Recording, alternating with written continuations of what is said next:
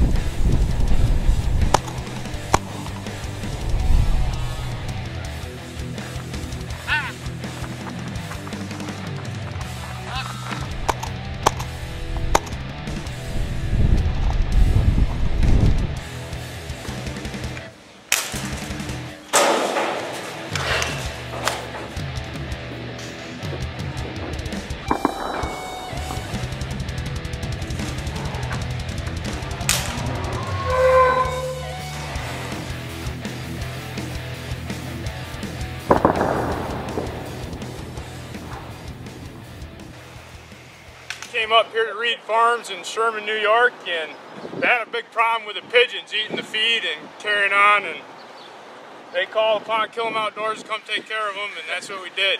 There's not very many pigeons left living on this farm. Big thanks to Ronnie Reed and Michael Reed for letting us do it. It was a blast, and uh, Michael killed probably half of them, so thank you. I think it was a good time. We didn't get very good video. I got some, but I'll try to piece together what I got for you and make it work. But uh, a little trigger happy here. Dogs work good. Guns work good. Pigeons died good. Everything went good. Anybody else got anything to say? No, no. We got 48, 47, 48 pigeons here, right? Yep.